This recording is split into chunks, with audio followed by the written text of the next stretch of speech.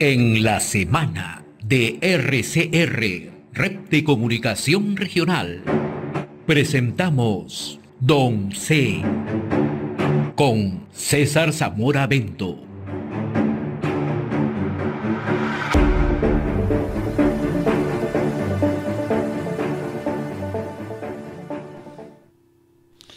Bien, le damos la bienvenida a esta hora a César Zamora Bento, analista político, economista, que nos acompaña justamente en la secuencia 11. Buen día, César, ¿cómo le va? Buenos días, José, qué gusto. Eh, espero que estés bien, que todos estén bien ahí en el equipo. ¿Cómo estás mirando la presente semana? ¿Cuál es el tema más saltante que puedes destacar? Bueno, hay varios temas, ¿no? El Congreso de la República es la vedette de la semana a través de prácticamente dos semanas que están sacando una serie de normas que generan controversias, puntos a favor, puntos en contra. Y lo otro es, dentro de todo ello, la aprobación del viaje de la presidenta Dina Boluarte a China. ¿no? Creo yo, sospecho que es en relación básicamente a, a la PET que se va a realizar en el Perú este año, a fines de año y que hay actividades importantes que realizar entre los chinos y los peruanos eh, centradas en el puerto Chancay. Me parece que por ahí va el asunto y algunas relaciones, algunos convenios que puedan firmarse en ese evento importante. Así que hay que estar alertas sobre lo que compromete la Presidenta de la República respecto de los intereses nacionales. Ahora, PEC es una es una ventana de oportunidades para el país, naturalmente, pero da la impresión que el gobierno está, no está precisamente poniéndole el énfasis del caso eh, por las mismas circunstancias que vive eh, la gestión de Dina Boluarte. ¿no? Entonces, e, este viaje de una otra manera obedecería a darle ese interés y sobre todo esa relevancia que se requiere pero en el plano interno contrastamos con un hecho real, la falta de manejo, la falta de gestión y la falta de acercamiento que tiene la presidenta. ¿no? O sea, cómo poder de una otra manera amalgamar esos temas, ¿no? siendo un evento de, esta magnitud como es la APEC. A ver, eh, yo creo que la parte de los consejeros cercanos a Dina Boluarte le han, le han recomendado que no entre a cosas domésticas, que las cosas domésticas le hacen mucho daño, que aquí la prensa ya le tiene algunas cosas que increpar, ¿no? Sobre su actuación, sobre su ética en la gestión, básicamente la ausencia de dos semanas, los Rolex, e, ese acercamiento con algunos gobernadores regionales. Eh, en realidad, a la, los consejos que ha recibido es dentro de la casa te van a sacar la mugre. Así que mejor eleva tu prestigio eh, asistiendo a eventos bilaterales y también preparándote para participar de la PET, de tal manera que tu imagen en el exterior sea relevante. O sea, están canjeando la imagen interna por la imagen externa.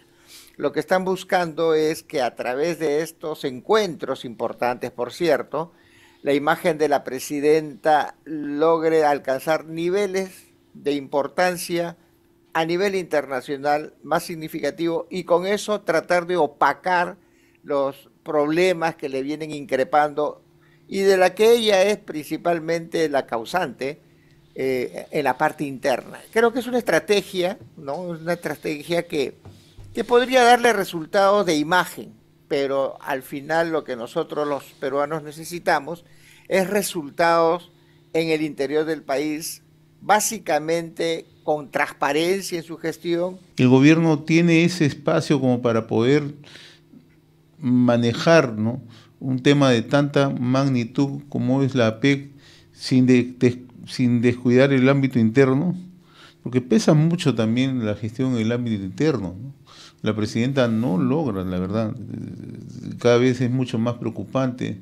Ayer en la ceremonia por el 7 de junio ha llamado a la unidad, pero hoy, algunos medios de comunicación se preguntan si solamente ese llamado a la unidad es un efecto mediático, cuando no tiene la fortaleza ni no tiene la, la organicidad como para poder hacerlo en las actuales circunstancias. Lo ideal sería que se, que se cumpla para por el bien del país, pero sabemos que eso es una cuestión bastante compleja.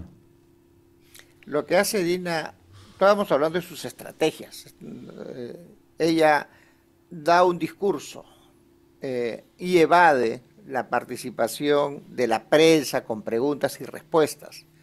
Eh, eso de ahí es un, es un juego. salvo el discurso, hablo, incentivo, eh, trato de motivar la unidad de la gente, pero no respondo, no, no respondo, no entro a, un, eh, a una conferencia de prensa donde la prensa se pregunta si ella responde. Entonces, es una estrategia para no ser increpada por las cosas que ella debe rendir. Y, son discursos, y los discursos por lo general son emocionales, ¿no? Entonces, trata de ganar, trata de... Mm, yo creo que lo que quiere es conseguir no eh, un, récord de, entre, de discursos para que se muestre como una figura que la tiene clara.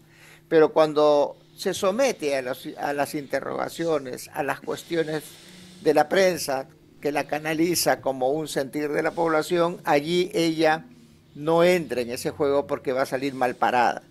Yo sí creo lo que tú dices en el sentido de que mm, muy importante es que ella tenga una buena imagen y confiabilidad al interno, pero no lo consigue por sus propios errores internos. Entonces acude a la parte externa, acude a estos eventos que, les van a, que va a servir como una especie de salvavidas.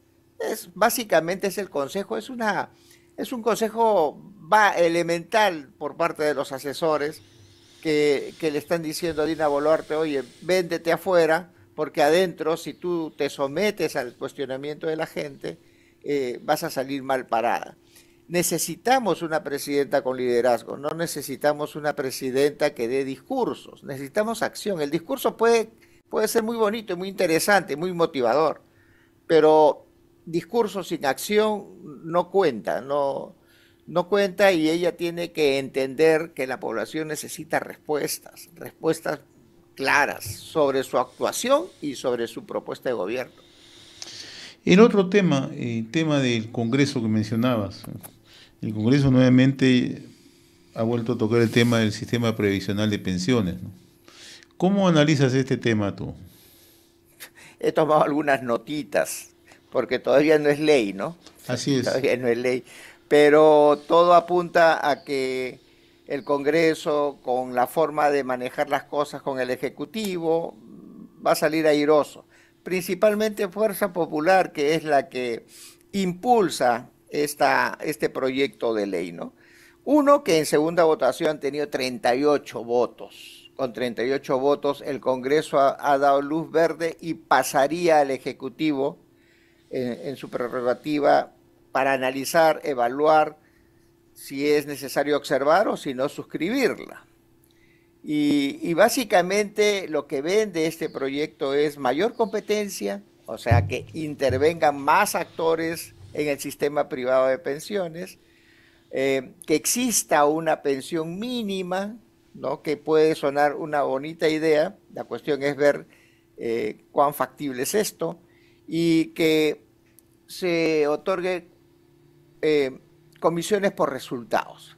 Las dos últimas, pensión mínima, es un tema que entra a la ley, y comisiones por resultados, yo no sé por qué lo he incluido, porque eso al final le correspondería eh, desarrollar como, como parte de un reglamento, a la Superintendencia de Bancas y Seguros. Ok, lo quieren, lo quieren sacar como ley y este, lo, lo, lanzan así. Hay otro aspecto que contempla la ley que no estaba en el sistema anterior o el, o el actual, digamos, que es que los trabajadores de cuarta y de quinta van a aportar, ¿no? Al momento de que emitan su, su recibo por honorarios, por ejemplo, los de cuarta, van a ir eh, aportando el 2, y de allí cada dos años sucesivamente hasta el 5% de lo que facturen o de las, de las boletas que emitan. Entonces, eso de allí eh, habría que ver cómo lo van a operativizar, porque recordemos que después de la ley viene la reglamentación. Y eso de allí en realidad es todo, todo lo que esta ley eh, está proponiendo, que, como decíamos en algún momento, eh, José, mm, el problema del sistema privado de pensiones, ahora que se va a llamar Sistema Previsional Peruano, con las mismas siglas, SPP, este, se ha debido de trabajar de manera sucesiva desde que se implementó para buscar las mejoras. Todas estas cosas que están proponiendo acá se han debido de dar sucesivamente para que el sistema privado de pensiones se perfeccione. Ahora están incorporando otros elementos, inclusive eh, ponen énfasis en este, uh, esta pensión por consumo, ¿no? esta pensión por consumo como una cuestión de, de que la gente que inclusive no trabaja, que por el simple hecho de consumir pueda tener un fondo eh, complementario a, lo que se viene eh, eh, proponiendo complementario a lo que se viene proponiendo. Entonces, habría que preguntarse de dónde va a salir solamente en este ángulo este, ese 1%, ese 1% de pensión por consumo. Va a salir de un impuesto adicional al producto, de un cargo adicional, va a salir del el IGB que el Estado recauda, y si va a salir del IGB del Estado, de lo que el Estado recauda, e, ese hueco en la recaudación tributaria que va a ir destinado ya no a tesoro por el IGB, sino va a ir destinado a una cuenta bancaria, eh, ¿de dónde va a salir? ¿Cómo se va a tapar ese hueco presupuestario? Entonces, son, son cosas que se tienen que responder y no se ha hecho, creo yo. En el Congreso de la República no se ha debatido este punto, sencillamente una cuestión de imposición, de mayoría de votos, no se ha discutido lo necesario y, creo que por ahí podría haber fallas que pondrían en peligro este intento denominado Sistema Peruano de Pensiones, ¿no? Sistema Previsional Peruano, SPP. Y siguiendo con el Congreso, también el Congreso ha planteado la eliminación de los movimientos regionales. Así es. Ese es el otro tema que eh. también generó ya una polémica abierta.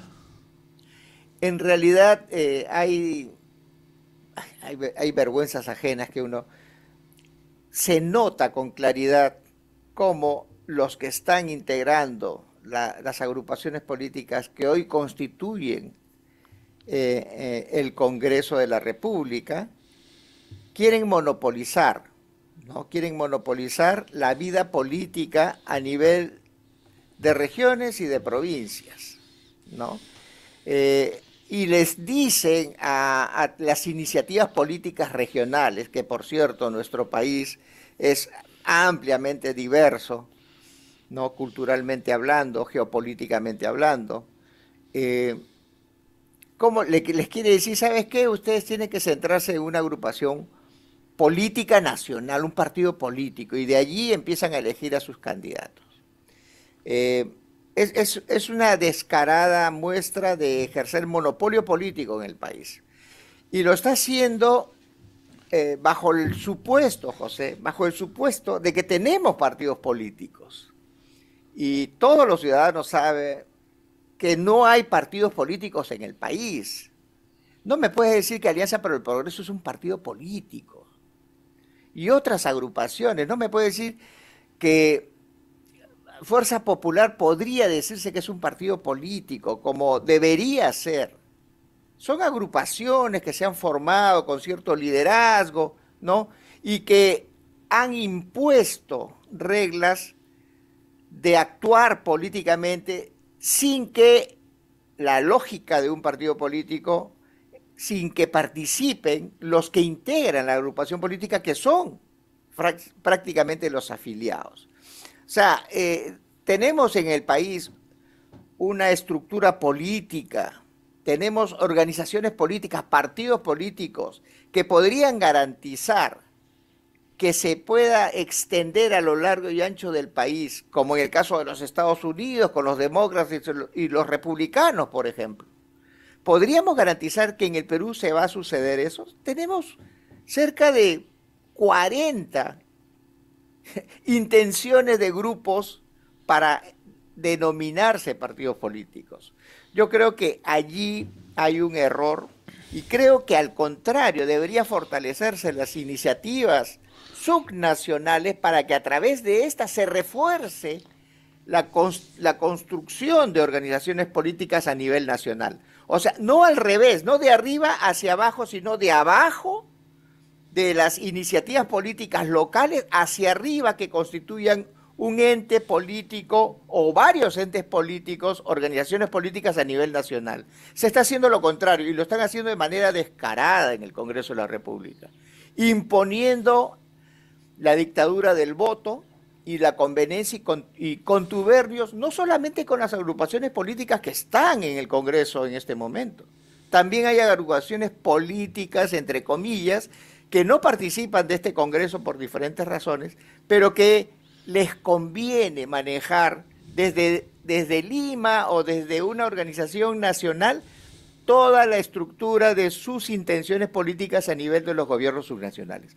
Es un descaro, eh, espero que reflexionen, no creo que reflexionen, pero en todo caso tenemos que los ciudadanos eh, construir una resiliencia de tal manera que podamos en esta situación eh, impulsar una construcción partidaria, alguna iniciativa que nazca desde lo subnacional hacia lo nacional.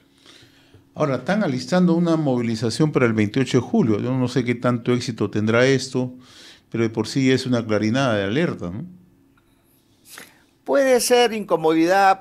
Lo que pasa es de que las movilizaciones han, dejado de tener eh, repercusión en el país y son muy fácilmente de...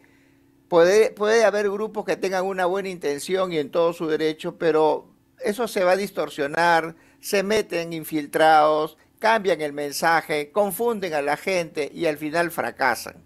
Yo creo que eh, el éxito de una de la construcción de una vida política debe empezar, vuelvo a repetir, por lo subnacional. Debe haber en un distrito un liderazgo que se sume a otros distritos que hacen una región y a otras regiones que hacen, y así sumar, sumar iniciativas y construir desde abajo hacia arriba una organización política, no al revés, no al revés como lo vienen haciendo, inclusive se están eh, reformando, se están eh, rehabilitando viejas estructuras políticas de antaño, que ahora quieren tomar protagonismo y sobre la base de ser históricamente una organización política, trascender de lo nacional hacia lo subnacional, de una manera eh, prácticamente vertical, impositiva y dictatorial. Yo creo que las organizaciones políticas deben su fundamento a la participación de los ciudadanos, digamos, a la democracia, ¿no? Muy bien, mi estimado César, yo te agradezco como siempre la amabilidad de haber compartido esta comunicación a través de RCR, Red de Comunicación Regional. Vamos a estar siguiendo de cerca cómo se desarrollan todos estos hechos y de tal forma el accionar del Congreso y de la propia Presidenta de la República, que no dejan de ser preocupantes ciertamente, ¿no? Muy preocupante el accionar de ambos poderes del Estado, una inestabilidad permanente en el país y como tú bien lo notabas al inicio, ¿no? Estamos descuidando quizá un frente que puede resultar vital para la imagen del país en lo económico y en lo social, como es la APEC, pero parece ser que el gobierno está mucho más empeñado, mucho más preocupado por el, el tema interno, por solucionar los problemas personales de la Presidenta de la República, tanto así que la presidenta hace más de 60 días que no declara a la prensa, ¿no? Un hecho más que inusual, un hecho preocupante. No sé si tengas algo que agregar, César. Sí, mira, este todavía no se está notando. Yo, yo escucho, he escuchado eh, la intervención de funcionarios del BCR, de una institución apoyo, haciendo comentarios sobre las perspectivas económicas del país en el marco del aniversario del diario El Comercio. Ah, y, a mí me preocupa ese, esa ligereza, si se quiere, ese optimismo de que las cosas económicas eh, van a mejorar sin reparar en que para que eso suceda tienen que haber cambios en, los, en la política económica, en la, en la política para que se reactive la economía. Y ya anuncian eh, condiciones eh, económicas favorables cuando todos sabemos que los indicadores del año pasado han sido catastróficos en cuanto a pobreza, pobreza extrema, 2 millones de, peruanos que no, no, les alcanza para comer, 10 millones de peruanos que no le alcanza para una canasta básica, y estamos hablando de que vamos a crecer en una economía informal al más del 70%. no, están, no están siendo objetivos, creo yo, en los, en los análisis que están haciendo. Todo lo ven en modelos y en números. Muy bien, conversamos con César Zamora Bento en nuestra secuencia 11. Don C. Con César Zamora Bento.